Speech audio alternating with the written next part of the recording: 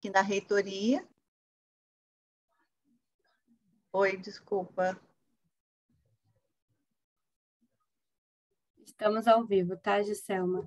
Ah, sim. Ah, eu tá, achei que estava.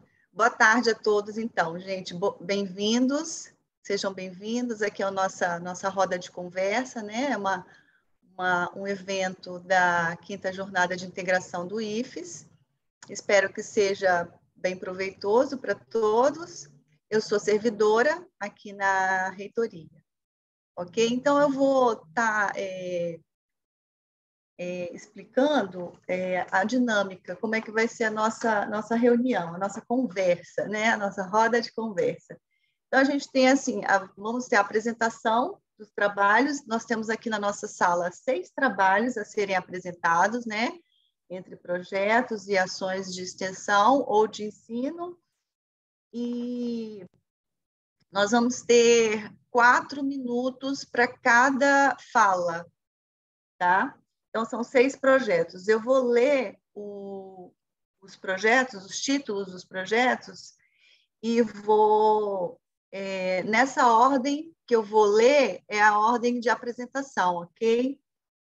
Então, nós temos aqui o, uh, o primeiro, é o Grupo Astronômico Carl Sagan e sua atuação durante a pandemia de Covid-19, as apresentações remotas do campus Cariacica, é, coordenado né, pelo professor Luiz Buffon, e o estudante apresentador é o Bruno. Bruno está presente?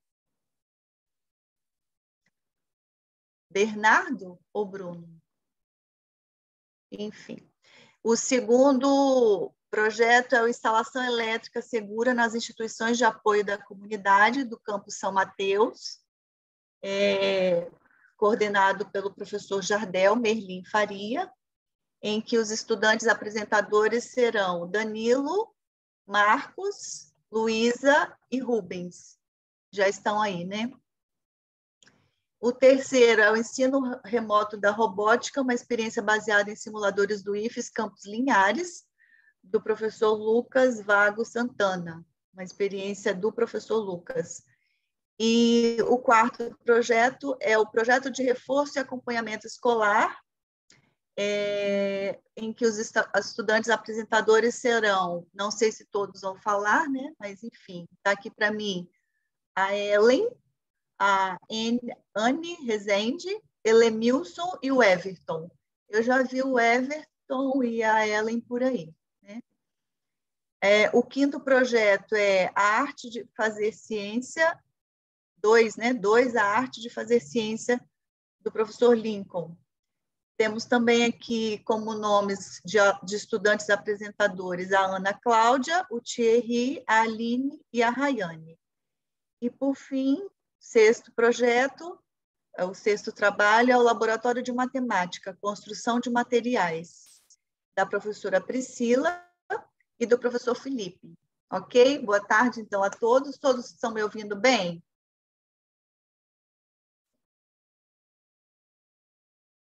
Sim. Sim? Então, gente, é, vocês entenderam? Então, serão, é, nós vamos começar pelo pela apresentação do Bruno Pessim Moreira. Bruno está presente? Aqui apareceu para mim o Bernardo Pessim, com o mesmo sobrenome. Eu não estou ouvindo mais ninguém, gente.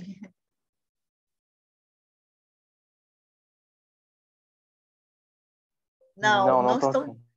Agora eu ouvi. Não, não estava ouvindo é o Bernardo ou Bruno? Está aparecendo o Bernardo.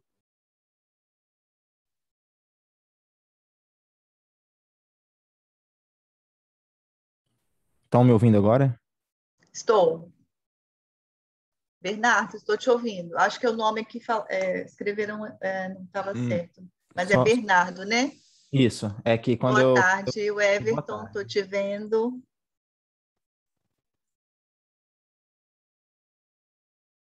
Boa tarde. Boa tarde. O, o, é o Bernardo? Isso. É, então, o seu, o seu projeto aqui está para mim como o primeiro a ser explanado, né, explicado. Então, gente, só para terminar, eu estava falando, é, nós vamos ter, então, essa ordem de apresentação, né, vocês, desses seis projetos, e cada um que vai terminando a fala passa para o colega. Se, se for um, um, projeto que não tem ninguém, então, né, pode começar o segundo projeto e aí fala que terminou e a gente dá é, continuidade ao projeto seguinte, ao, ao, trabalho seguinte, naquela ordem que eu falei. Primeiro, o grupo astronômico Carl Sagan, de Cariacica, o segundo, instalação elétrica segura do Campo São Mateus, o terceiro, ensino remoto da robótica é, em Linhares, experiência de Linhares, projeto de reforço e acompanhamento escolar, eu não sei o campus, é, o quinto é a arte de fazer ciência, do campus Montanha, e o sexto é o laboratório de matemática e condição de materiais da professora Priscila e do professor Felipe. Então, vamos seguir essa ordem. Cada fala, quatro minutos, nós temos é, até duas e meia para essa nossa roda de conversa. E após a apresentação de todos os projetos, de todos os trabalhos, é que nós vamos começar, então, a nossa conversa ok? Então, nós vamos primeiro, no primeiro momento, é a apresentação dos seis projetos, ficou claro? Depois, em seguida, eu vou dar a palavra para a gente poder começar a nossa, efetivamente, a nossa roda de conversa, ok? Que é, assim, o, o título do nosso trabalho, né? Do nosso momento aqui. Então, eu vou dar a palavra para o Bernardo, que é o, o aluno é, pelo menos está aqui para mim como estudante apresentador do projeto Grupo Astronômico Carl Sagan sua atuação durante a pandemia de Covid-19, as apresentações remotas. Então, Bernardo, você pode começar. Só, só, só rapidinho, eu, quando, quando a gente inscreveu, o, o professor Buffon tinha falado que a gente ia apresentar um, junto com apresentação de slide e tudo, Precisa, ah, tá. não precisa? Você tem, você tem apresentação? Eu tenho uma apresentação aqui, se, se é, depende. Do... Para mim chegou, Bernardo, a orientação de que seria melhor não usar a apresentação de slide. Mas se você tem, pode ir falando então ao mesmo ah, tempo, então, né? É, não, se não, se não precisa, eu, eu falo sem apresentação. Porque a ideia mesmo. é que, que a, essa experiência seja realmente assim, é, né, é, uma expressão, porque a pessoa tende a ler, né, às vezes, o slide, né? Uhum. Então, para que a gente tenha uma, uma apresentação bem corrida, assim, corrida assim, corrente, entende? Fluida, de, sim, de para a gente conversar, entende? Que você fale com as suas próprias palavras e não leia, ok? Ah, sim, tudo bem. Então tá, é... podemos ir? Você quer passar e, e, mesmo assim falar? Pode passar então. Não, não precisa, não precisa não. Era só, então... só a dúvida mesmo, porque a, a, gente ficou meio confuso mesmo de como que ia ser. Tá, João. Mas ficou vou, claro para todo mundo, gente. Então, são esses seis projetos, a gente tem esse tempo e primeiro nós vamos apresentar todos eles e depois nós vamos conversar, ok?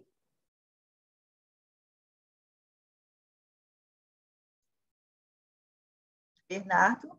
Ah, posso começar? Você pode falar, pode, então, pode tá, falar. Gente, bom, boa tarde, gente. Eu sou o Bernardo, eu sou aluno do, do IFES ali de, de Cariacica, né? E eu sou o atual o, monitor do GAX, que é um grupo astronômico que funciona no campus.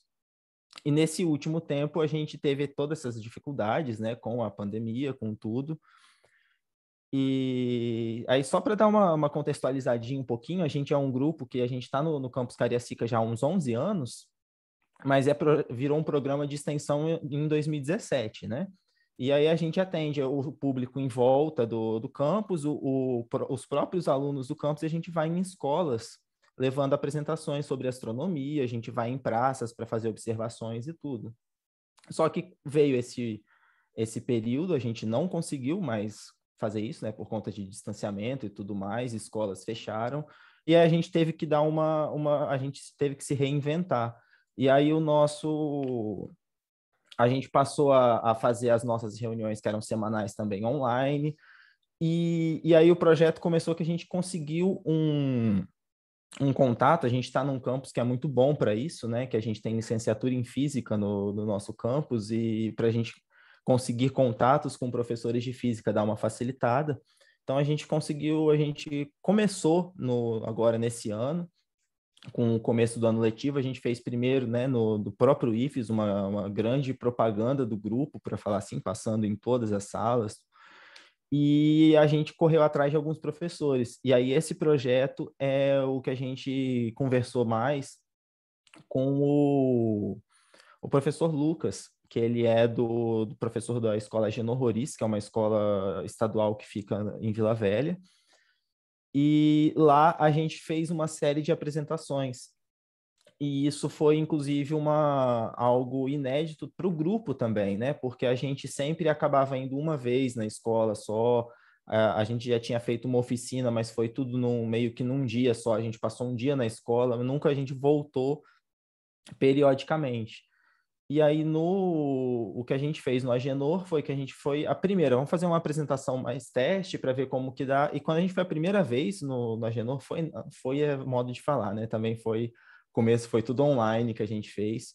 E o Lucas falou: olha, eu acho que a gente não vai ter muito aluno, porque as minhas aulas estão tendo seis alunos quando tem muito. Os, os professores de outras matérias falam que só tem até dez. E nossa apresentação trouxe mais de 40 alunos para assistir a gente participando.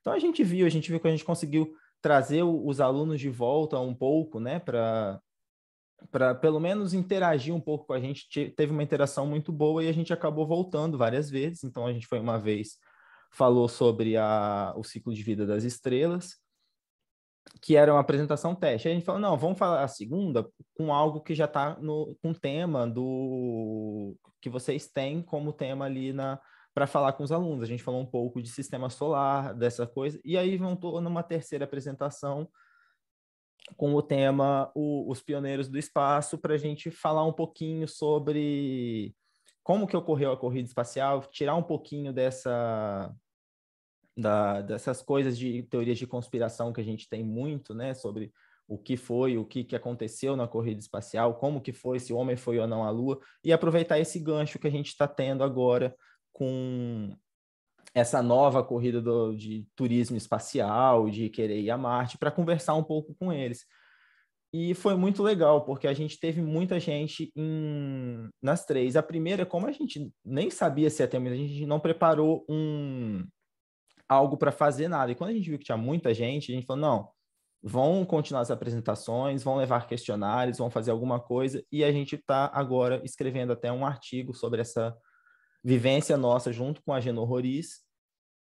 E aí a gente encerrou essa nossa participação na escola com participando de, da estreia do podcast da rádio, né? Estreia da rádio, eles chamaram a gente, a gente fez um podcast Bernardo, sobre... Hum?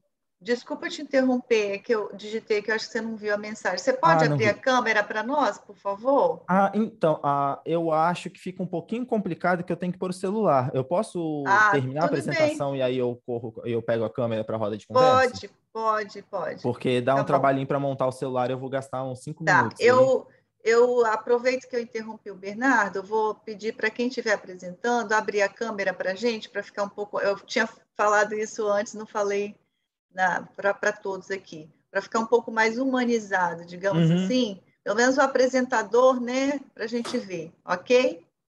Tudo bem. Eu, eu termino agora? Eu, eu... Pode terminar, pode terminar, Bernardo. Tá, então só, só para terminar, eu nem sei como que, que tá o tempo aí, né? É, a gente fez esse podcast, a gente foi chamado para o podcast, só que aí teve o problema do que eles, é, eles se embolaram lá na escola, né? Que eles juntaram os alunos da rádio que estavam fazendo no começo da rádio, e acabou que não ficou gravado o podcast, mas a gente transmitiu para. Transmitiu, não, é, é, é, transmitiu, né? Passou na rádio da escola ali, enquanto a gente estava fazendo, estava passando na rádio da escola que já era na, no semipresencial, já tinha metade dos alunos lá e a outra metade em casa.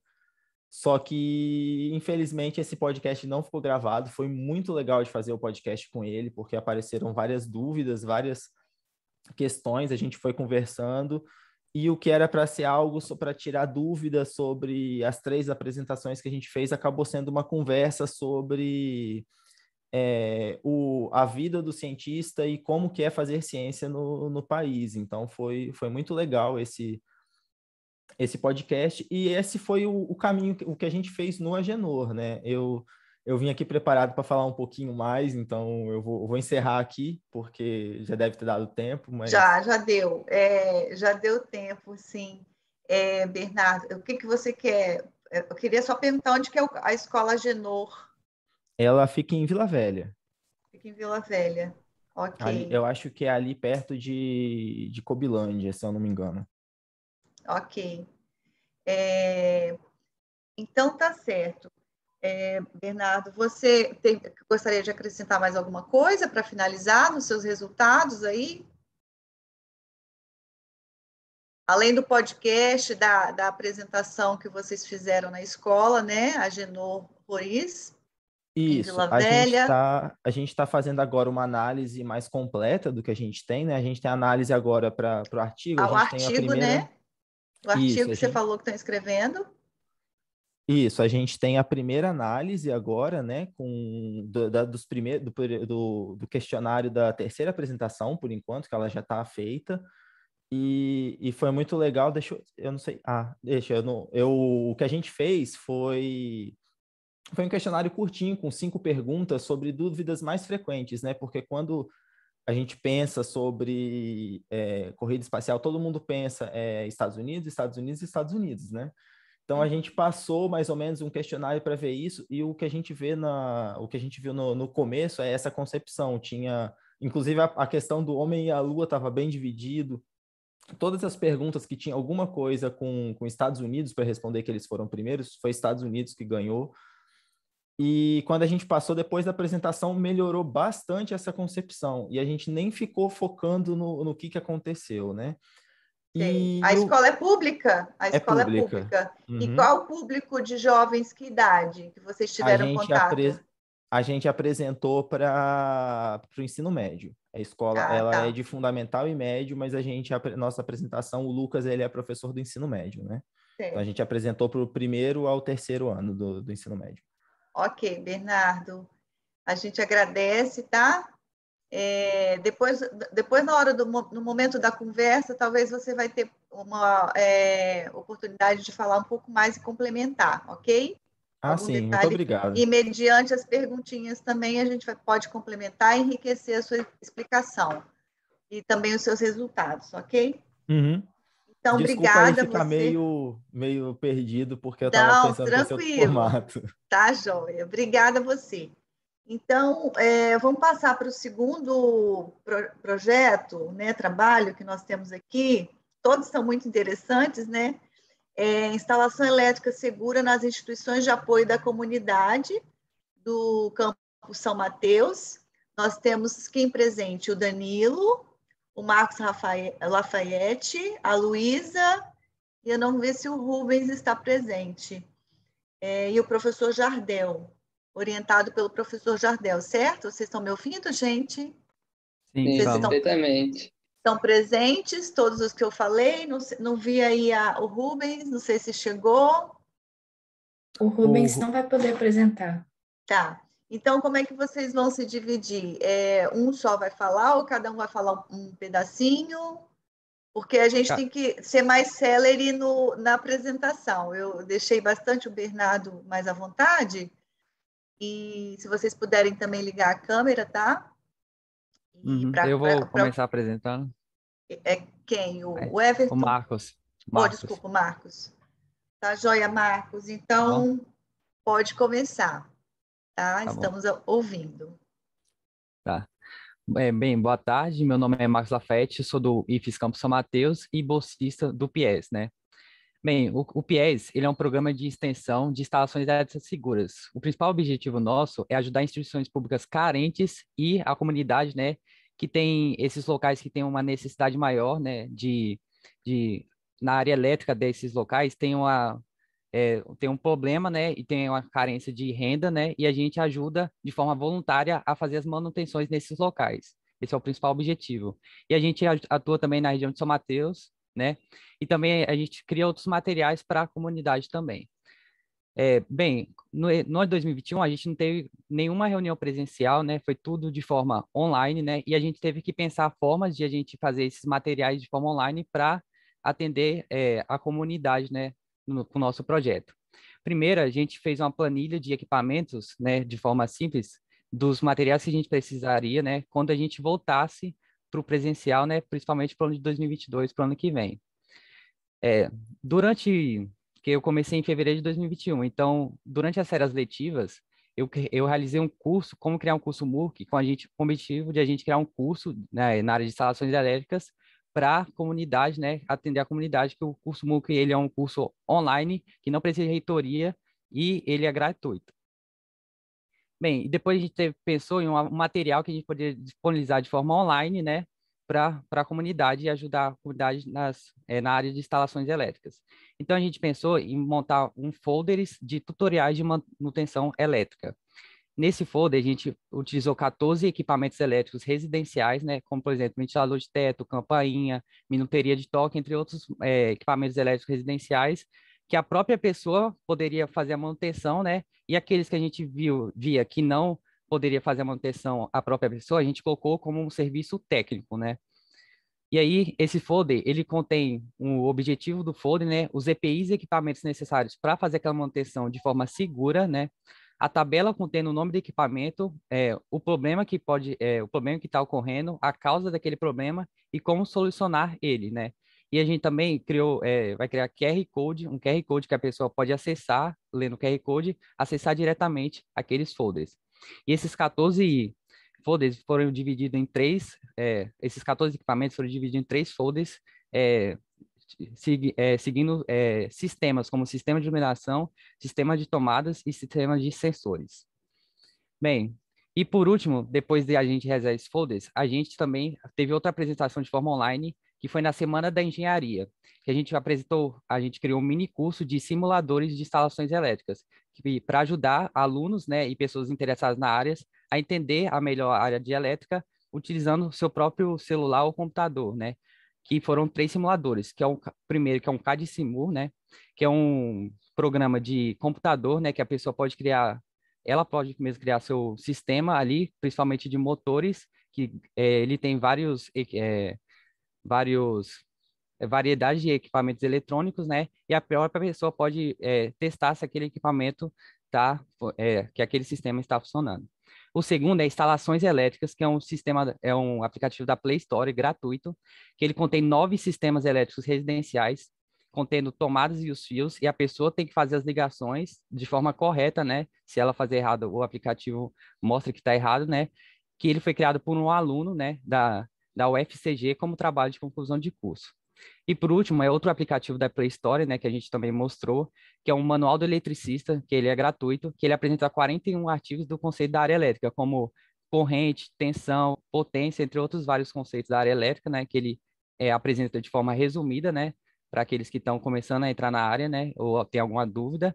15 apresentações de esquemas elétricos interativos, né, que a pessoa pode interagir, e nove calculadores da área de elétrica com a fórmula que contém ali, né, e aí, esse mini curso, ele foi apresentado e também vai ser disponibilizado no nosso canal do YouTube. Ok, então, é... desculpa, é o Marcos, né? Marcos Isso. Lafayette. Obrigada, Marcos, é, pela sua apresentação, tá? Eu vou aproveitar aqui é, e falar que a lista de presença já está aberta, tá? Para quem que a gente tentou antes e não, não conseguimos agradecer o Marcos e passar para o terceiro projeto é, a ser apresentado, o terceiro trabalho que nós temos aqui na nossa sala, que é o ensino remoto da robótica, uma experiência baseada em simuladores do IFES Campos Linhares, uma experiência do professor Lucas Vago Santana. Boa tarde, professor Lucas. Ei, boa tarde, São. Escuta? É, sim, está perfeito. Que Se bom. puder é, né? Como já falei, quem puder abrir a câmera, por favor, né? Para ficar um pouco mais humanizado, né? Do uhum. jeito que é a ferramenta que nós temos no momento, mas enfim, vamos lá. Tudo E- bem. Só uma, só uma curiosidade, desculpa, que acabei, eu estou em momento de aula. É, o pessoal não está fazendo uso dos slides da apresentação? É, Não, o professor Lincoln vai, vai utilizar depois algumas fotos, ele já avisou, e a professora Priscila disse que tem também uma apresentação que vai utilizar. Pode ficar à vontade também. ah, po- posso utilizar Se você então? achar que fica mais rico, né? Ah, acredito que sim. Eu vou solicitar Ok. aqui então. Ok. Estou te vendo, boa tarde, muito melhor ver a pessoa, né? Obrigada, está compartilhando aqui, estou vendo a robótica, primeiro slide, ok. É, vamos ver se ele segue aqui, porque deu alguma falha aqui no computador. É, conseguem ver a imagem? Só confirma. pra. Tá, tá perfeito, para mim tá, Tá. perfeito, Tá, tá ótimo. Eu vou tentar aqui então. temos Pessoal- quatro minutinhos, tá, professor Lucas? Tá, é um joia. pouco É, é bem acelerado, breve aqui. É bem breve. Pessoal, boa tarde. Espero que estejam todos bem. Eu sou o professor Lucas Vago, aqui do IFES Campos Linhares, e vou apresentar aqui para vocês, dentro da jornada de ensino, né, que faz parte da de integração, uma experiência minha aqui no ensino dos cursos de robótica que eu tenho na, na engenharia de controle e automação aqui do campus, tá? Então, só para contextualizar, para quem não sabe, a robótica né, é, um, é um tipo de, de ciência que ela é fundamentada aí em princípios bem pesados, eu diria, aí, da matemática e da física, e ela existe em alguns cursos de engenharia, que é o caso da de controle e automação. Geralmente, ela fica alocada mais para o final desses cursos, né? E o motivo é muito simples. Ela trata-se de uma ciência interdisciplinar, né, uma disciplina, né, interdisciplinar que agrega conhecimentos que o engenheiro ele absorve ao longo da tua formação. E o objetivo final, por exemplo, de um estudo de robótica seria fazer uma tarefa ou algo como está sendo reproduzido aí na imagem do canto, né, um mecanismo que vai de forma automática cumprir com alguma tarefa. Então, para isso daí é necessário vários conhecimentos, né? Desde a matemática e física básica até as habilidades mais técnicas como programação, eletrônica, controle de processos e por aí adiante. Então, o que que acontece? Ah, Não só por conta da pandemia, mas assim, por conta da versatilidade de algumas ferramentas também, desde 2009, que é o ano que eu iniciei com essas disciplinas aqui no nosso campus, a gente tem feito uso de uns, do que eu vou chamar aqui de laboratórios virtuais, que são ferramentas né, de programação e simulação desses equipamentos que facilita aí o processo de ensino e aprendizagem, tá?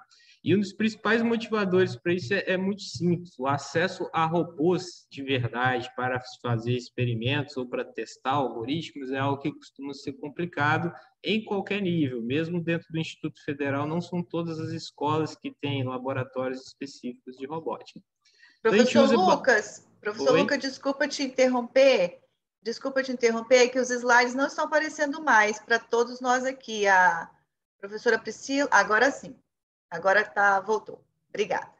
Tá, que pena, é porque a informação realmente está no slide. Mas, enfim, é, voltando Não, mas deu para acompanhar seu raciocínio. Tá.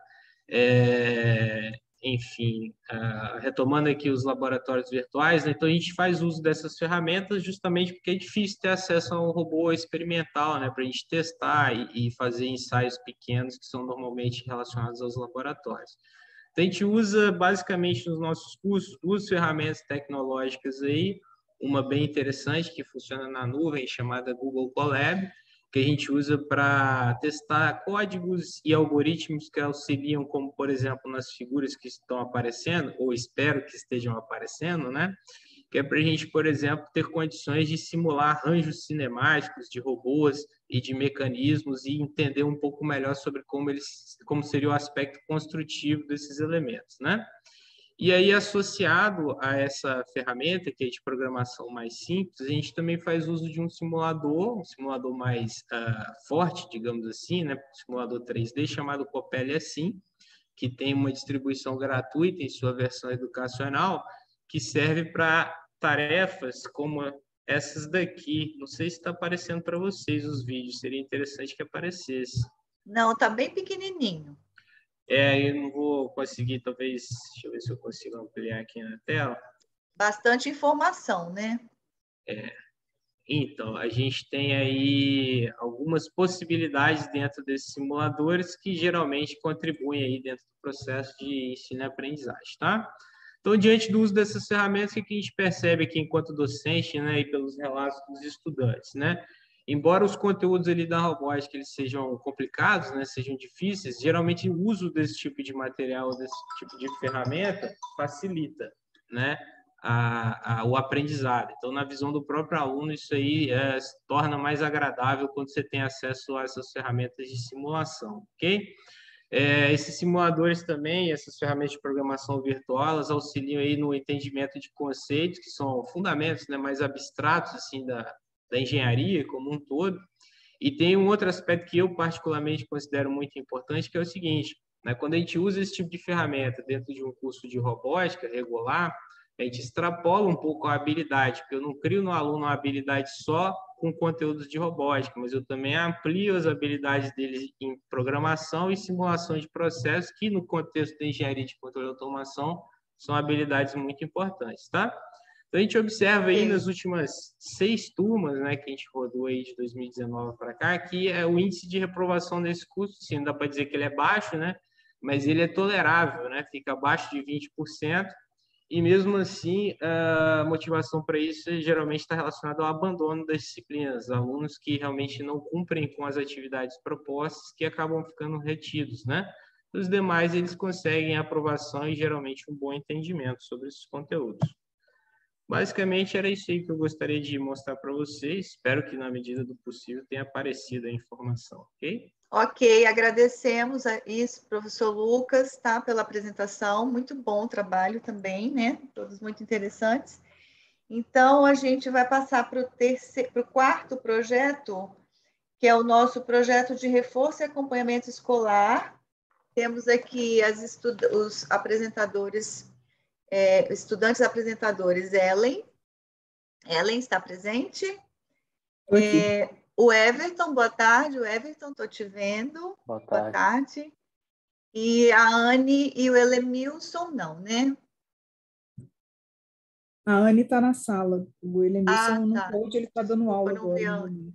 Ok. Vocês são alunos ou, ou Nós professores? somos professores. Ah, tá. Eu achei que fossem alunos. Ok, então, é professor Everton, né? Então, Exato. Podemos, podemos, você pode começar. Obrigada. Bom, boa tarde. Eu que vou apresentar. Ah, É, tá.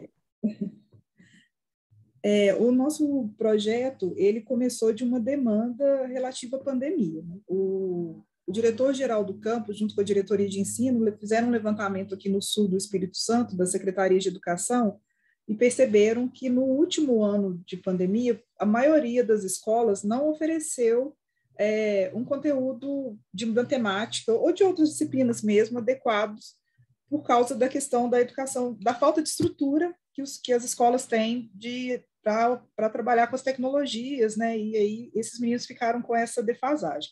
Então ele procurou a coordenadoria de licenciatura em matemática e propôs que nós fizéssemos um projeto de ensino para poder trabalhar com os alunos ingressantes nos, nas primeiras séries do ensino médio, tanto de eletromecânica quanto de informática, que são os cursos técnicos integrados aqui do campus Cachoeiro, para a gente poder trabalhar com esses alunos é, um processo, um projeto de reforço escolar né, e acompanhamento.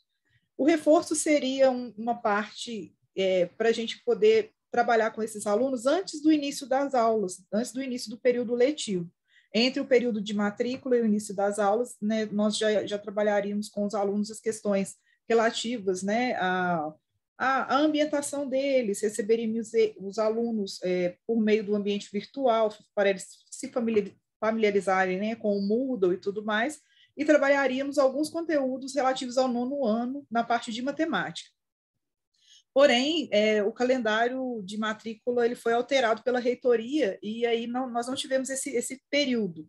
Né? Então, o projeto que era para ser de, de reforço e acompanhamento, ele tornou-se só de acompanhamento. O reforço ele acabou sendo oferecido ao longo do ano do, do período letivo. Então, nós formamos essa comissão, que eram nós, os quatro professores do campus, eu, o Everton, a Anne e o Elemilson, nós escrevemos o projeto, encaminhamos para a PROEM, e o projeto ele foi aprovado. É, esse projeto ele mudou muitas características desde a da época que nós é, bolamos o projeto. Ele, o projeto ele é, tinha foco nos estudantes do ensino médio e ele passou a ter foco na formação de professores, né? Que hoje nós temos o projeto, ele tem quatro tutor, tem três tutores bolsistas e esses três tutores eles fazem o acompanhamento desses alunos ingressantes desde o início, desde o primeiro dia que eles é, entraram em aula no campus. Então, esses três tutores, eles trabalham em conjunto com o professor de matemática da, das turmas, e aí ele, eles vão atuando, é, promovendo é, os, os conteúdos pré-requisitos. Então, se o professor está trabalhando com função afim, esses alunos vão reforçar os conteúdos de conjuntos, né, os conteúdos de função. Por exemplo, quando é a função quadrática, os tutores vão trabalhar com a equação de segundo grau e outros conteúdos que são pré-requisitos para trabalhar a função quadrática. Quando chegar a função exponencial, vai trabalhar a parte de é, potenciação, radiciação, esse tipo de conteúdo do ensino básico que, que, tra que traz a dificuldade no ensino médio, né, para esses alunos acompanharem os conteúdos do ensino médio. Então, os três tutores são bolsistas, cada um tem uma bolsa de 400 reais. Eles têm trabalhado é, com os alunos através do, do AVA, né, do nosso Moodle aqui. É, os alunos, eles passaram por uma avaliação diagnóstica no início, e nós vamos fazer uma avaliação diagnóstica agora no final do, do processo todo.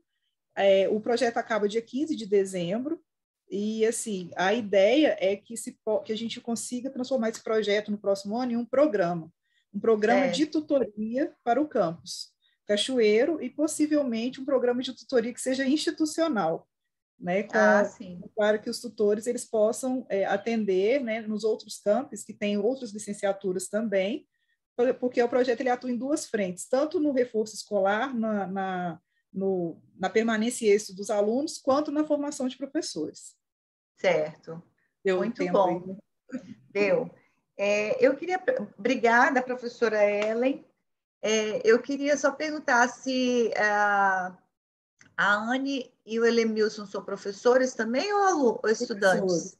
Ah, professores, né? É, eu sou tá. coordenadora tá. do projeto, o Elemilson e a Anne são orientadores e o Elemilson orientadores dos três. Cada um tem um tutor para orientar. Ah, ok. E tá vale certo. registrar também que no início do projeto também tínhamos uma participante voluntária, só que ela acabou Sim. não podendo prosseguir no projeto. É, nós teríamos quatro tutores, mas é, a Jéssica não pôde continuar conosco. Tá certo. Obrigada, então, professora Ellen, professor Everton.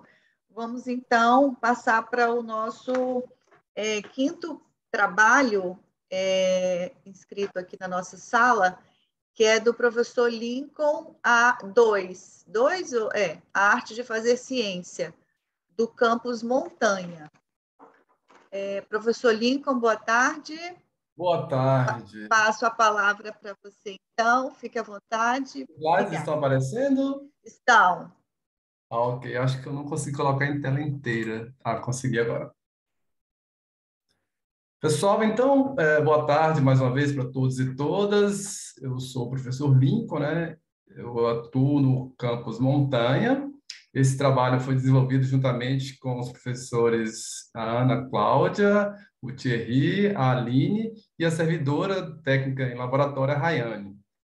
É, essa foi a segunda edição né, que foi desenvolvido do trabalho, é um trabalho interdisciplinar, é, envolvendo aí a disciplina de Química, na qual eu atuo, né, Física e Artes. Né? E, assim, é, a ideia desse projeto de ensino foi justamente para desmistificar né, a situação de que muitas vezes as disciplinas aí das áreas de exatas, né, química, física, matemática, né, são consideradas muito difíceis, muitas vezes com é, questões de memorização e não atrai muito aos alunos. Então, o objetivo do projeto foi que os alunos fizessem, né, preparassem, fizessem uma pesquisa, eles tinham que fazer uma pesquisa sobre os temas dessas áreas, né? E eles tinham que apresentar, fazer uma apresentação, é, utilizando aí experimentos de química e física, né? Através de uma apresentação artística.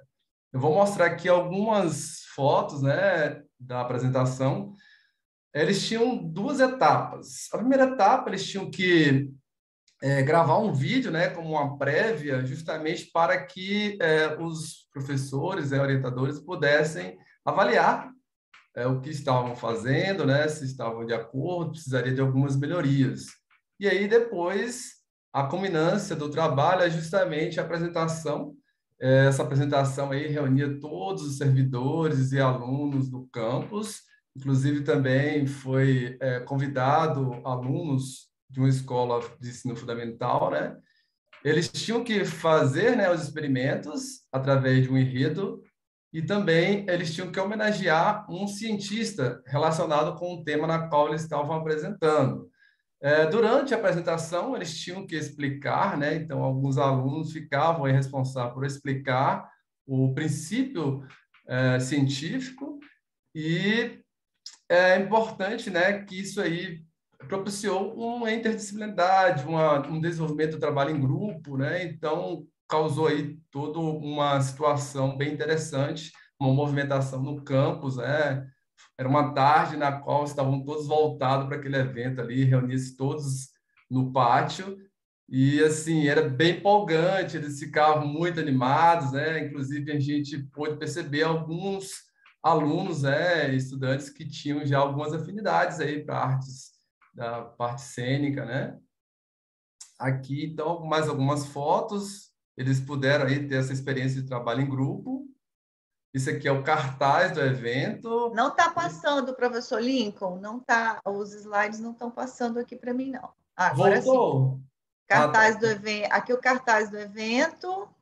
As fotos vocês não viram? Vou voltar. Agora vi. Agora estou vendo. Então, essas aí são as fotos né, das apresentações no pátio do campus, né?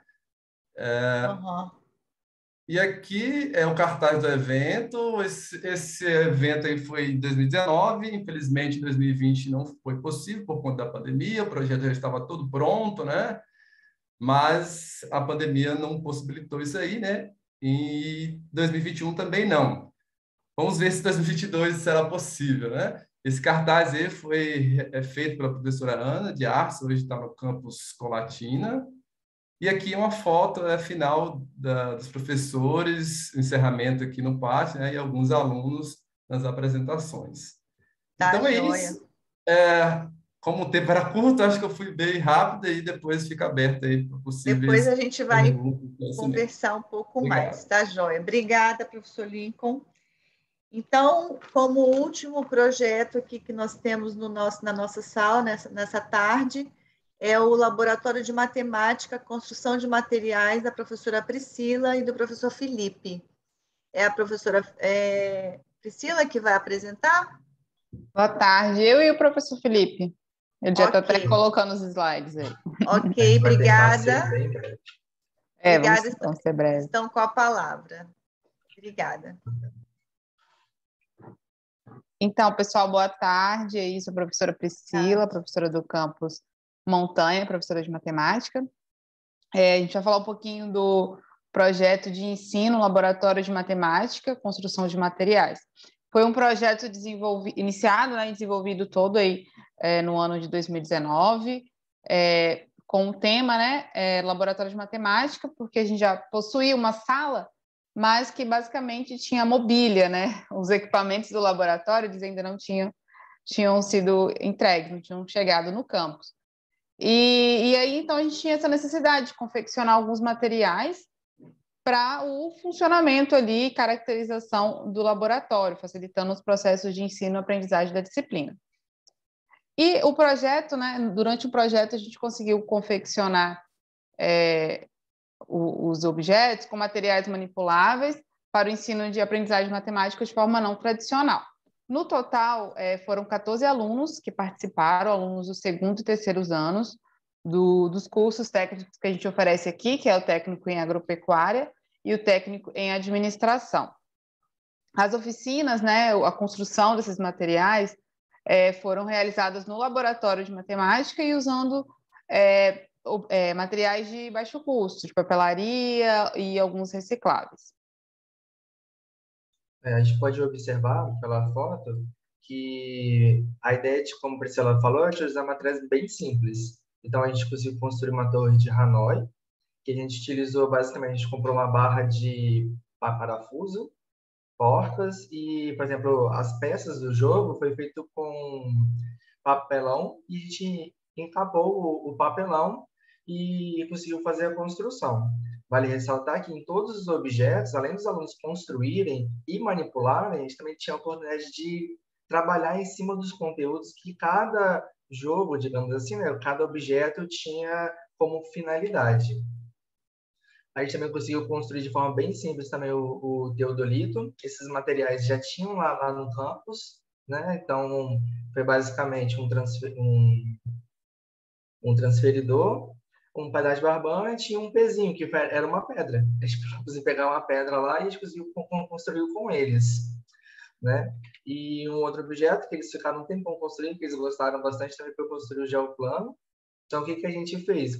A gente conseguiu é, pedaços de madeira, a gente foi em, em locais que tinha madeira, a gente pediu, e a gente marcou com os meninos como é que fazia o geoplano, tanto que a gente conseguiu fazer ele quadrado, digamos assim, né? a disposição dos pregos para construir figuras planas mais quadradas e também, dentro das possibilidades, figuras é, redondas.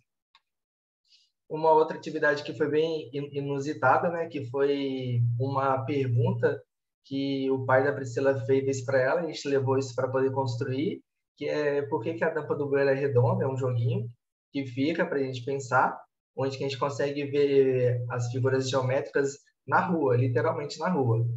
E ele também foi construído de forma muito simples. Foi uma caixa que a gente cortou, um outro lado da caixa que não foi utilizado, a gente fez as tampas e vem a pergunta, né? É, a gente aproveitou, né? Em seguida tivemos alguns eventos no campus. Esse que está em exibição foi o aniversário do campus de cinco anos e entre as atividades a gente conseguiu fazer uma exposição das coisas que tinham dentro do laboratório. É, então a gente conseguiu mostrar cada um desses experimentos para esses visitantes e foi uma possibilidade também de expor os próprios meninos que construíram e confeccionaram os materiais que fizeram a exposição, o que foi bem é, interessante também. A gente conseguiu é, a gente pode dizer que a gente viu como resultado, né, para os discentes. É, é, uma forma diferenciada de ver o, o conteúdo de matemática, além do, daquela própria noção de pertença, né? Poxa, essa coisa foi construída por mim é, para ficar lá permanente para os outros alunos. Uma interação entre os discentes. Lá o campus não é muito grande, mas mesmo assim os, os alunos que foram escolhidos nem sempre tinham uma comunicação diária entre eles. Então, com as oficinas puderam ter uma maior contato entre eles e é claro, né, uma caracterização lá do nosso laboratório de matemática, como, Priscila falou, é, tinha basicamente mobília, né? Então tinha, né, nós tínhamos espaço, nós tínhamos aquele quadro digital, tinha as coisas, mas e o material para de fato poder ser utilizado, né? É, para a gente, para os docentes, a gente conseguiu de cara assim uma maior relação entre professor-aluno, né? Porque como eram oficinas e essas oficinas não tinham necessariamente que todos ficarem em fileira, não tinha que necessariamente ter aquela dinâmica de sala de aula. Então, a gente ter uma interação muito melhor com os alunos, uma, uma proximidade bem mais interessante, e a gente conseguiu começar a suprir as necessidades do laboratório com materiais para poder serem tra trabalhados em alguma aula, né? É, aqui estão as nossas né, algumas referências que a gente utilizou e é só. Vale destacar também que no ano de 2019, né, no segundo semestre, é, próximo ao segundo semestre, para o segundo semestre, é, o material do laboratório chegou, né? Chegou, chegaram sólidos, é, um, uma máquina muito legal de rotação, mas assim, não deu tempo de a gente fazer uma oficina ainda, assim, é, usando esses sólidos, esse material do laboratório que chegou. É, e nesse evento, né, que foi do aniversário de cinco anos do campus, é, nós recebemos outras escolas, então os alunos apresentaram para os colegas deles, né, ali da, do IFES e para alunos de outras escolas também, foi um evento muito legal. Ah, tá, outra rapidinho, eu estava tentando lembrar aqui, é, esse, essas oficinas, né, lá, nosso, nosso campus é integral, então era até três horas mais ou menos as aulas regulares, então, era no, no final da tarde, uma coisa extra para eles, né? Extra, extra sala de aula. Certo. Entendi, professora Priscila. Muito bom o projeto de vocês. Muito, muito legal mesmo, né? Então, assim, é... agora a gente vai passar para o momento que é, é, a nossa conversa efetivamente, né? A gente vai poder ter a oportunidade agora de fazer perguntas um para os outros, entende? E eu gostaria de, inicialmente, é, fazer algumas perguntas pra, para os, os dois primeiros pro, projetos que foram apresentados por alunos, né, pelos alunos é, Bernardo, né, do, do campus Cariacica, do grupo astronômico, Carl Sagan, Bernardo, tá aí? Tá me ouvindo? Estou aqui, estou aqui. Ok. E também para o Marcos Lafayette e para o Danilo. Estão aí? Estou aqui, sim. Do, aqui do, do, é que eu estou olhando o papel aqui, desculpa. É, da instalação elétrica, né, o projeto de São Mateus. É, então, assim, eu gostaria de, como vocês são alunos, é, eu gostaria de perguntar para vocês, é, iniciando a nossa conversa, é, se vocês tinham conhecimento que o IFES é, desenvolvia atividades de pesquisa e extensão antes de se tornarem bolsistas. Quem gostaria de falar primeiro? Pode ser eu. Oi, Bernardo. É Marcos. Ah, Marcos. Marcos. Deixa eu abrir a câmera aqui. Bem, é, eu quando, eu entrei no... aqui, quando eu entrei no IFES, é, eu sabia que tinha vários projetos, né? E do PS principalmente, né? E eu sabia mais ou menos sobre o PS, só o básico mesmo, que era um programa que ajudava essas instituições carentes, né? Realizando manutenções elétricas nessas, é, nessas, nesses locais, né? E aí eu me interessei porque eu pretendo é, seguir na área de instalações elétricas e é uma experiência para mim também entendeu? Sim, muito interessante, é muito rico isso, né? Você é, ter essa oportunidade de vivenciar isso e depois você fica lembrando a, o resto da vida sobre sim, as experiências que você teve no IFES. também, eu, sou, e... eu sou aluna de edificações e eu lá dentro da indústria, eu fiz edificações no Campus Vitória, né? Há muitos anos atrás. Deixar rapidinho um relato aqui.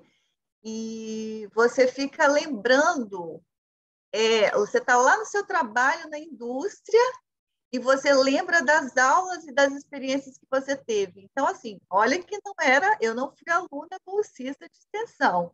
Então, assim, para vocês, é para você, né, Marcos? É Marcos, né? Uhum. É. é. que tá, tem essa vontade de seguir na carreira, nossa, isso é maravilhoso. Sim, e até um dos objetivos do PIS é esse mesmo, de você é, ter essa ajuda ao próximo, né? Criar essa empatia de ajuda, né? Sim, e, nesse, também e nessa, é, e nessa pandemia a gente teve que meio que inventar, reinventar a roda, né? A metodologia, porque a gente sempre era presencial, as reuniões, as coisas feitas, tudo era presencial, né? As Sim. redes sociais, tinha as redes sociais, mas era para divulgar as coisas que a gente fazia presencialmente. E aí, agora com a pandemia, a gente teve que pensar como fazer as coisas online, né? Os projetos, as atividades. Sim, entendeu? sim, entendo. Muito legal mesmo, muito bom. E, Bernardo, gostaria de falar alguma coisa sobre a sua experiência? Ah, eu projeto... só queria só, só completar um pouquinho que a parte de conhecer os projetos eu já conhecia, né, por um pouquinho, porque eu sou já aluno da graduação, então quando eu já entrei já sabendo que talvez teria um projeto, que já foi apresentado o IFES para mim como com os projetos todos que a, que a física lá fazia. Sim. Então, essa parte de, de conhecer eu já conheci um pouquinho, mas que, que tinha mantido e criado novos projetos agora durante o, o período da pandemia, eu não estava muito sabendo, eu dei uma, uma desligada, mas muito legal de ver o, que, que todo mundo conseguiu e que foram criados projetos pensando também na, nessa situação, né? O, o próprio GAX, que a gente conseguiu se, se mudar um pouquinho para conseguir atender, porque é, é muito ruim você estar tá num grupo, o nosso grupo que a gente sempre. Todo, pelo menos uma vez por mês, né? Quando estava muito difícil a gente ir em escolas, eu gosto muito de ir em escolas e conversar com as pessoas, levar a astronomia. E a gente estava muito engessado, né? Durante a, a pandemia, não conseguia sair, não conseguia fazer nada. E aí agora Sim. a gente foi conseguiu conseguiu fazer alguma coisa, conseguiu chegar nas escolas e é, é legal ver que o, o restante do IFES também estava um, desenvolveu projetos pensando nisso, né?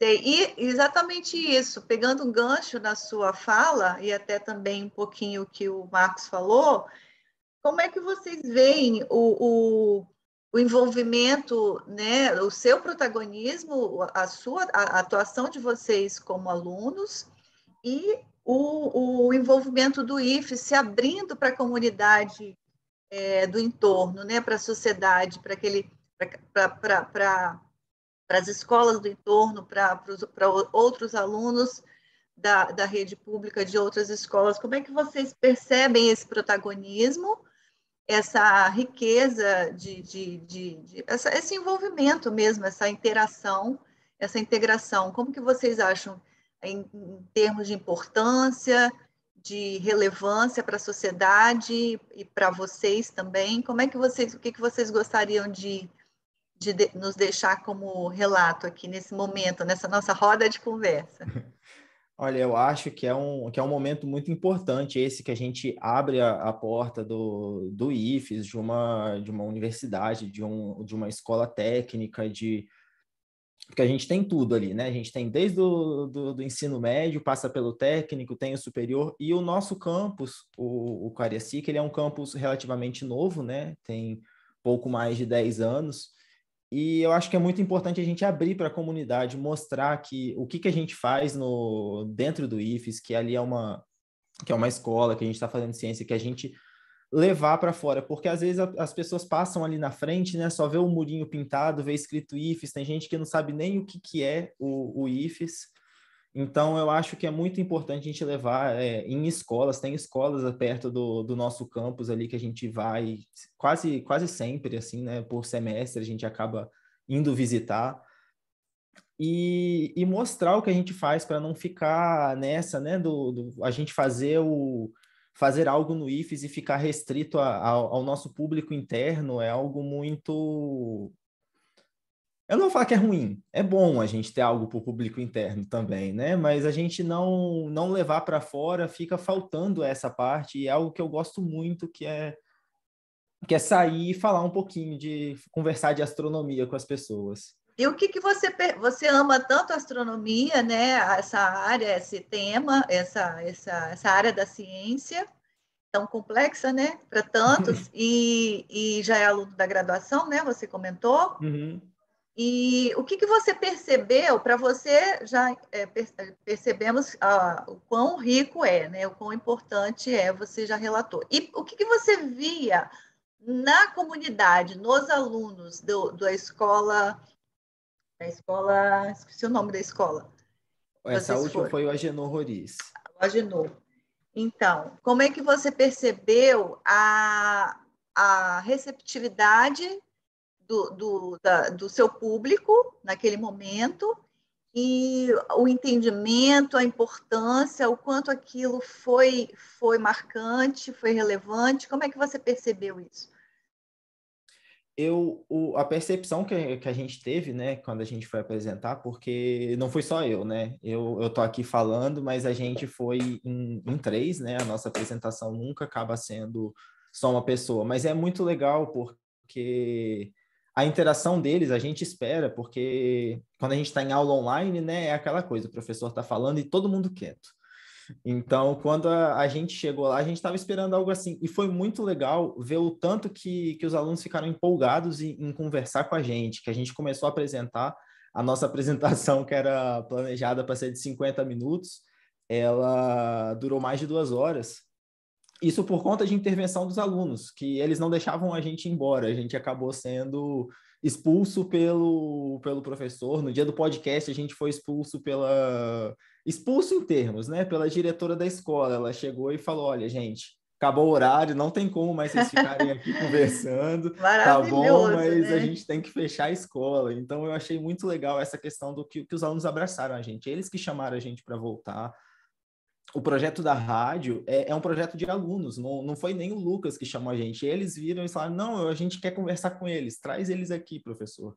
Então, ah. eles foram atrás da gente, foi, foi muito legal a, a experiência no Agenor ali por isso, né? Sim. E além do artigo que vocês estão, é, já tem dados, né? Já tem informações para, para produzir esse artigo? Tem a, a, a rádio vai, vai, ter, vai dar continuidade? O que mais vai, vai ser é, dado continuidade? Com, então, a rádio eu não sei, porque a rádio é do Agenor, né? Então a não. gente, é, se eles chamarem a gente, a gente vai. Como o, o Gax ele funciona como, mais ou menos? A gente está dentro do, do IFES, a gente é, é periódico. Então toda semana, agora online está sendo quinzenal, né? Mas toda semana a gente faz uma reunião para falar de um tema, faz uma apresentação e conversa desse tema. E Sim. nas escolas, normalmente os professores chamam a gente, a gente vai atrás de escola e esses professores chamam a gente para fazer uma apresentação de um tema que casa com a matéria que eles estão dando ou deixam livre para a gente. E, e, observações a gente costuma fazer em praça, a gente já fez até na, na frente do IFES ali, muito legal fazer uma observação do céu com, com a galera saindo do terminal para ir ver um telescópio, né? Que é uma coisa muito muito diferente, um telescópio a gente monta na pracinha em frente ao terminal e as pessoas saindo do, do terminal só para dar uma olhadinha no céu, muito legal também. Mas Joia. a gente não tem esse plano ainda de voltar para a rádio, por exemplo. Tá. Ok, então. Obrigada, viu, Bernardo? Nada. É, eu queria, ah, antes de passar para os projetos é, que, que foram apresentados pelos professores, só conversar um pouquinho mais com o Danilo, o Marcos e com a Luísa, que são do projeto de do trabalho de instalação elétrica segura lá em São Mateus, é, fizeram o folder, né? Como é que vocês é, também a o, o, MOOC, né? Que vocês falaram para ensinar online e tal, não foi isso? Queria que vocês falassem um pouquinho. Quem gostaria de falar, Luísa, o, o Marcos ou o Danilo, é, sobre falar, como, falar. como que foi, é, como que vocês perceberam a, a, receptividade da comunidade né, é, residencial, né, projeto elétrico residencial e instalação de equipamentos residenciais, certo?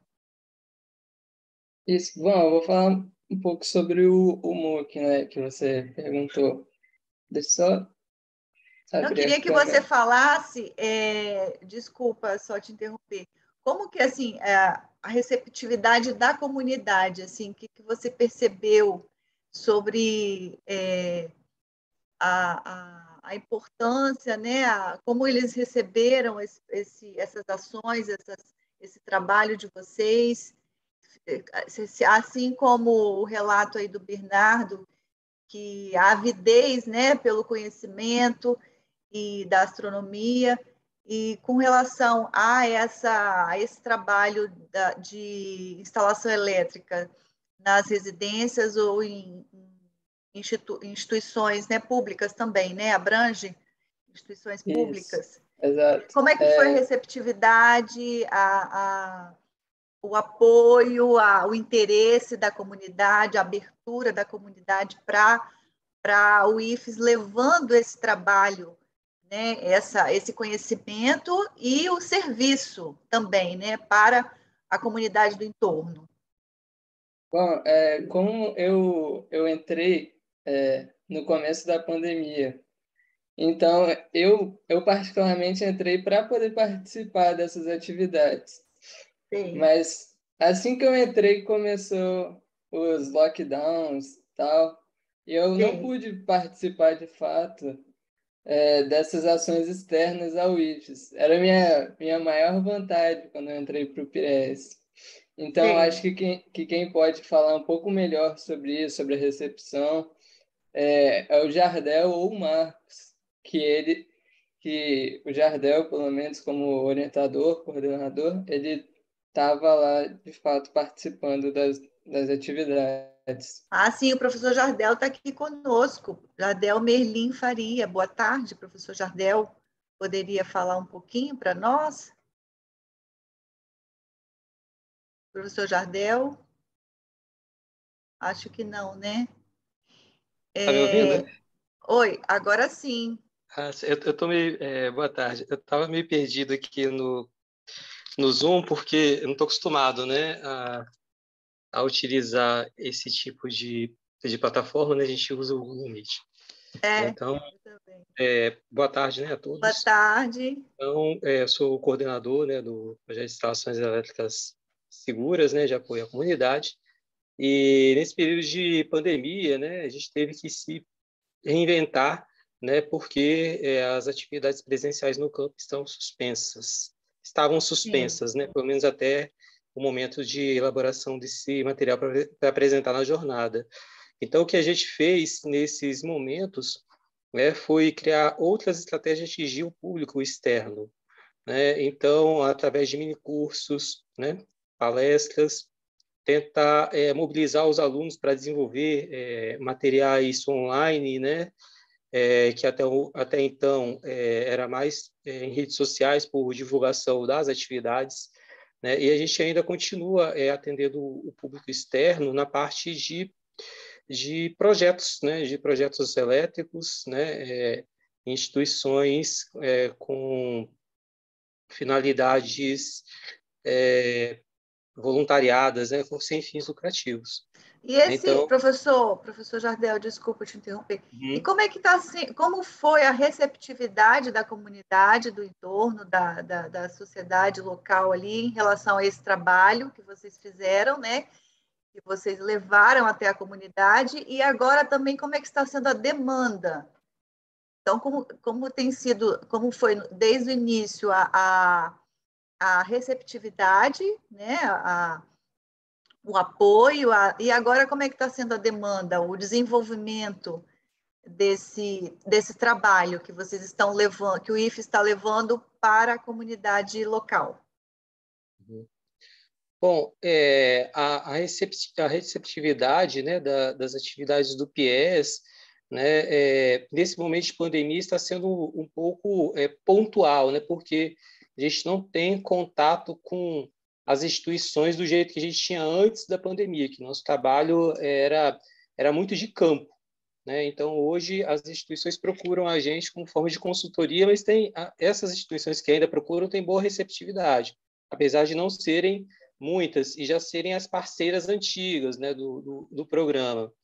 Então, é, hoje, né, a forma da gente ampliar esse, essa receptividade, esse contato, está sendo através né, das ferramentas online, né, é, reativamos as redes sociais, né, criamos canais do YouTube para proporcionar é, não só o, o, público externo ao programa, mas que é interno à instituição, que são os alunos que não fazem parte do programa, né? assim como o, os demais né, alunos de, de toda a rede. Né? Então, a gente aproveita eventos igual a Semana da Engenharia né, para propagar né, todo o material, todo o conhecimento que a gente tem adquirido no programa né, para outras instituições, para outros alunos, para outros curiosos e interessados né, sobre o tema de instalações elétricas. Né? Então, é isso Sim, que a gente tem feito no momento. Certo, porque a gente sabe que ocorrem muitos acidentes né, dentro das casas, justamente por conta de instalações elétricas né, mal executadas, uhum. é, às vezes porque não tem o material, às vezes porque não tem o conhecimento de como executar uma instalação elétrica, né, de, de, é, bem, é, de acordo Segura com as, as normas, né? de acordo com as normas, porque são muitas normas que regem esse, esse serviço, né, essa instalação. Mas entendi, muito legal, muito bom, obrigada. É, com isso, a gente, só, só para fechar, né, é, a gente desenvolveu um trabalho que a gente começou em sala de aula, né, que é, na parte de manutenção de instalações elétricas, a gente resolveu que esse trabalho não deveria ficar só como atividade, né? Atividade curricular. A gente fez um tutorial de instalações elétricas que a gente está publicando nas redes sociais exatamente para leigos, né? Para pessoas que é, querem fazer uma pequena manutenção na sua casa e querem saber até aonde você pode mexer, até quando. Então a gente fez um pequeno tutorial com vários problemas que ocorrem dentro da sua instalação elétrica para saber quando que você é, deve fazer a intervenção e quando você deve chamar né, alguma assistência técnica especializada, né, um, um eletricista, um técnico eletrotécnico, algo do tipo. Certo, muito bom. Luísa, você gostaria de falar? Gostaria sim. É... Pois não. Tipo, o Jardel até citou a Semana da Engenharia e o Marcos falou sobre também, só que ele citou apenas um mini curso. E o Sim. PIES apresentou para a Semana da Engenharia três mini cursos de três professores diferentes, né? Uhum. E eu, como voluntária, não participei das, as, da maioria das ações, porque ocorreram mais no primeiro semestre de 2021 e eu entrei no segundo.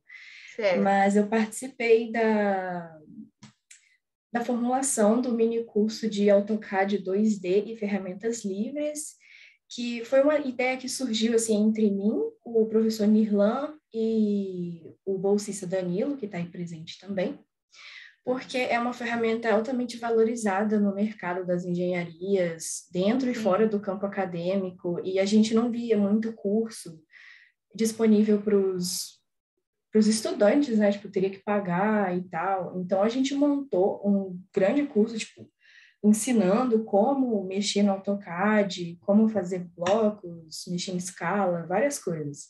Muito e foi, é, foram dois aulões de duas horas cada. Uhum. E, tipo, com o professor explicando as coisas, mexendo no AutoCAD mesmo, junto com os alunos, e fazendo os exercícios, explicando passo a passo, sabe? Porque cada um tem uma dificuldade, então ele estaria lá. E eu e o Você... Danilo estávamos lá também. Certo. E você, Luísa, você já sabia que o IFES desenvolvia essas atividades de pesquisa e extensão antes de se tornar é, até voluntária? Então, eu fiquei sabendo logo no primeiro ano, porque sempre tem uma apresentação para os calouros, e agora eu estou no terceiro ano, mas eu nunca tinha conseguido uma oportunidade mesmo de entrar em uma dessas ações e um desses projetos. E nesse ano, finalmente, eu consegui Ai, ter organizado para isso. e, assim, mesmo que eu não tenha conseguido antes, a minha meta sempre foi entrar no PS, porque eu gostei muito da proposta, mais da de campo, mas estou gostando dessa também.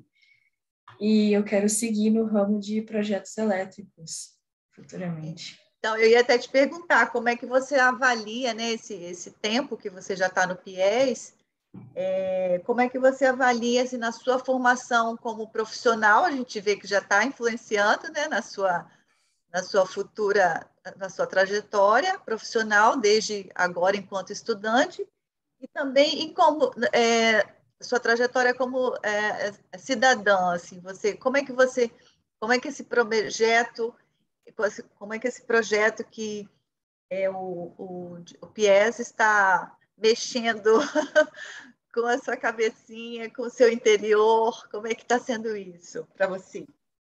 Está uh, me ensinando bastante sobre trabalho em equipe, divisão de tarefas, ajudar o próximo, porque na formulação do mini curso tinha muita coisa que um não sabia, eu inclusive, enfim, tive que pedir ajuda para o professor. E também está criando uma preocupação na minha mente sobre os outros, porque a gente teve que criar um material que os outros fossem entender, porque eles não estariam na nossa cabeça para entender o nosso raciocínio. Ah, interessante. É. Muito Dá para desenvolver um pensamento mais lógico, assim, na hora Sim, de fazer mas... uma apostila, por exemplo. Sim, muito interessante. E aí eu gostaria agora, gente, obrigada, Luísa. Eu gostaria agora, é, pessoal, é, que se tivessem, se tivessem perguntas um para os outros também, né?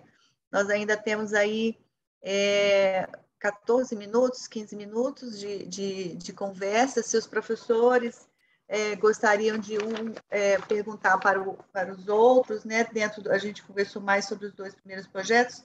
Então a gente tem o ensino de, remoto da robótica do Campos Linhares, muito interessante, do professor Lucas, o de reforço e acompanhamento escolar importantíssimo da professora Ellen, né? Do professor Everton, da arte de fazer ciência, né? Também com essa parte da arte na, na, na, matemática, na ciência, muito bacana, até o, até o, o, o, folder, né, com o cérebro ali, de um lado preto e branco, do outro colorido, com arte. também muito bacana. E o de laboratório de matemática, construção de materiais, né, que teve que contar com a criatividade aí dos professores, Priscila e Felipe, para equipar o, o, o, laboratório. Então, assim, eu gostaria de saber se uns, é, esses quatro últimos projetos que eu falei, de robótica, de Linhares, reforço escolar, reforço e acompanhamento escolar de, do campus, eu acho que é Cachoeiro, né? É, é, arte de fazer ciência de laboratório de matemática, se vocês gostariam de fazer perguntas um para os outros, é, se tem alguma curiosidade, se querem trocar um pouco, é uma roda de conversa mesmo, né? A gente ficou mais nos projetos Posso... que tínhamos alunos, mas agora eu acho que é importante também a gente aproveitar entre vocês. Desculpa que levantou a mãozinha, Lincoln. Ah, a professora Priscila falou também. Como levantar a mão aqui? não tô achando. Tem a mãozinha, tem uma mãozinha aí. Mas depois do Lincoln eu posso falar, então. Pode. Não, eu só gostaria de fazer esclarecimento, né, que o trabalho foi desenvolvido é, com as disciplinas de Química, Física e Artes. Tá? Ah, Matemática tá. não entrou nesse ano, talvez nos próximos. Ah, tá, eu... Poxa, Lincoln, por que você não chamou a matemática? Chamei sim. Ô, Juscelma, a gente é do mesmo Oi. campus, por isso que eu tô... Ah, tá. Uhum. Campos Montanha.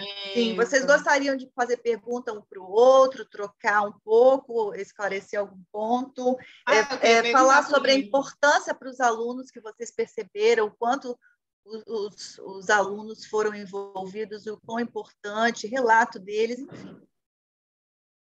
É, durante o evento, né, que o, que o, o Lincoln falou, eu assisti os dois. é, muito, muito bom, assim, participei das salas, os alunos realmente muito engajados, envolvidos, eles montavam as salas temáticas, né? Uhum. E não esqueço, Lincoln, de um que o menino pediu para eu segurar um, um, palito na boca, tipo, e para escutar, né? O Lincoln pode falar melhor desse experimento escutar uma música, uma coisa assim, e, e sentir a vibração, muito, muito legal. Os alunos se envolviam muito. É, queria deixar para o Lincoln, né? É, você falou que ano passado, e nesse, devido à pandemia, não teve como rodar, né? Porque o, o formato é presencial. Mas para o ano que vem, quais são as pretensões e se de alguma forma poderia ser feito remotamente, não sei, alguma coisa assim, nesse sentido. É, obrigado, Priscila, pela pergunta. Sim, eu acho que podemos retornar assim com o trabalho. É, tivemos assim boas é, bons feedbacks, né? Para os próprios alunos, ficaram muito satisfeitos, entusiasmados, né? A própria divulgação nas redes sociais foi muito interessante. Então, acredito que para 2022 podemos sim e pretendo aí que mais disciplinas possam integrar o trabalho, né? Para que fique ainda melhor, né? A gente cada ano vai, vai aperfeiçoando, tá certo? Então, assim, é, foi muito interessante a questão também da participação dos estudantes do ensino fundamental da escola, de uma das escolas de montanha, também foi muito satisfatório. Eles ficaram, assim, muito entusiasmados, vibravam, né? Era uma coisa muito bacana, muitas fotos, muitos vídeos. Então, foi interessantíssimo, né? A questão de, é, desses anos de pandemia, a gente não ter feito, é porque tem uma parte, que é a parte dos testes, de experimentos em laboratório, que teria aí um auxílio da parte laboratorial, ficaria um pouco mais complicado. Então, a gente viu que existiria aí uma maior dificuldade por conta dos alunos. Então, por isso que nessa situação de pandemia a gente não executou. Mas para o próximo ano é bem possível. Certo. E é, professor, professor Lucas está é, tá com a gente. É, gostaria de, de falar sobre o relato, um pouquinho mais sobre o relato, algum relato de algum dos seus alunos, como é que isso mexeu, esse projeto mexeu com, com o seu com os discentes, né, que você trabalha. Oi, Gisela. Professor Lucas? Sim. gostaria de falar um pouquinho sobre o que você percebeu, né? Que você falou sobre a evasão, sobre o entendimento. Gostaria de complementar um pouco mais sobre a influência desse, dessas simulações é, com o ensino da, remoto da robótica no campus Linhares. Gostaria ah, sim. Não, tudo bem. É, tudo bem, obrigado aí pela oportunidade. Desculpa que eu estou fazendo atividades em paralelo, tá, pessoal? Tá. É, eu vou. O que que acontece, né? Não foi exatamente um, não é uma pesquisa, né? O que eu fiz ali para colocar aquelas percepções, mas uh, principalmente durante 2020, né, que a gente fez muitas aulas e esses cursos em especial no formato remoto, totalmente remoto, eu aproveitei para né, perguntar né, no próprio sistema lá no AVA aos estudantes né, qual era a opinião deles sobre aquela metodologia, aquele tipo de, de tarefa ou de simulação e tudo mais. E aí tive respostas assim muito positivas, até me surpreendi porque os conteúdos realmente são são complexos, né? Então é, talvez tenha algum aluno da, das áreas de engenharia aí que tem experiência com robótica. Até deixei Deixei aberta aqui a frase de um aluno, vou ler para vocês, se me permitem, né? Claro.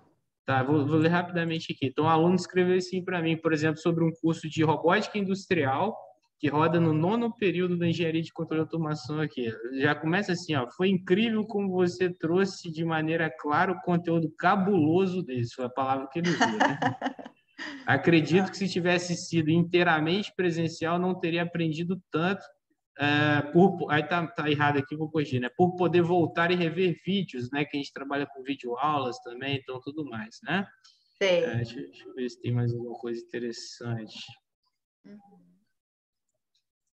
Enfim, né? Aí eles, eles fazem muito é, comparativamente, né? O outro fala assim, eu acredito que foi o curso foi um dos melhores que eu participei nessa, chamam de modalidade à distância, né? O formato remoto que a gente estava trabalhando. Então, assim, é, o que eu tentei explicar ali no, no resumo que eu, que eu, propus aí é o seguinte: a gente é, faz uso né, dessas ferramentas tecnológicas, já fazia, mesmo no, no formato tradicional, quando os cursos eram totalmente presenciais.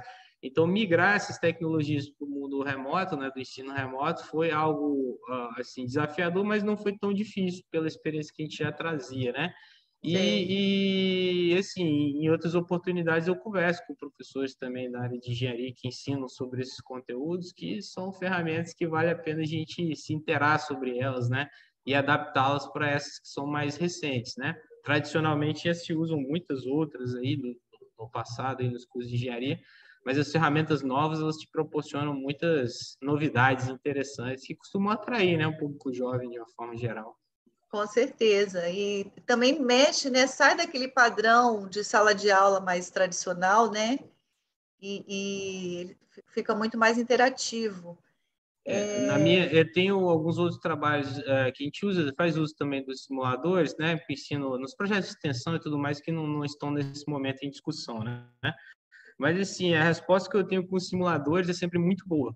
Sempre, porque uh, você passa a ferramenta à disposição né, do, do, estudante, fica na mão dele a, a capacidade de, de, de, de, estudar, né, de experimentar, de, de criar as próprias dúvidas, e assim, meu entendimento, pelas respostas que eu tenho, embora não seja uma pesquisa formal, é que funciona. Certo. Obrigada, professor Lucas. É, e, o, e, o profe, e o projeto de reforço e acompanhamento escolar, então, que a professora Ellen e o professor Everton apresentaram, o próximo passo seria é, torná-lo como um programa, né? Não um projeto. E aí um passo mais adiante seria institucionalizá-lo.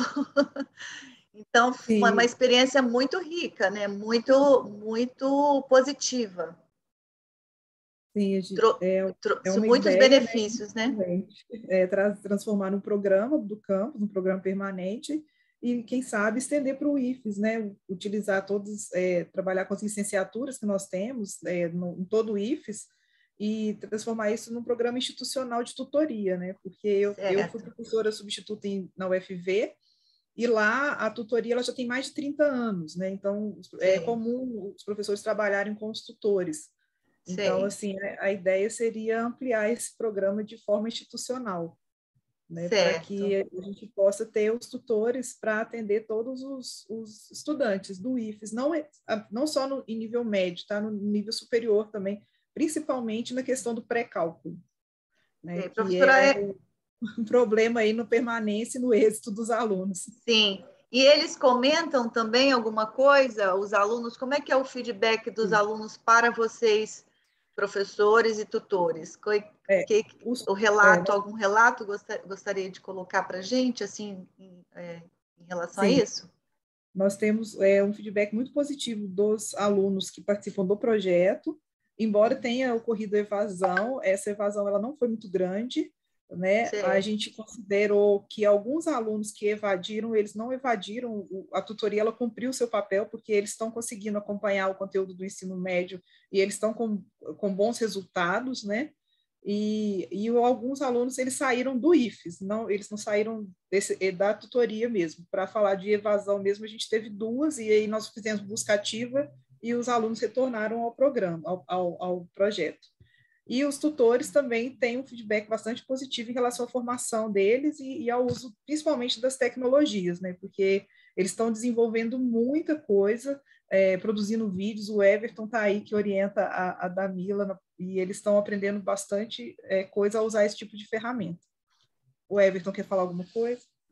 Sim, vale complementar também é, que esse projeto despertou tanto por parte dos tutores, mas principalmente dos alunos, o sentimento de pertencimento à instituição.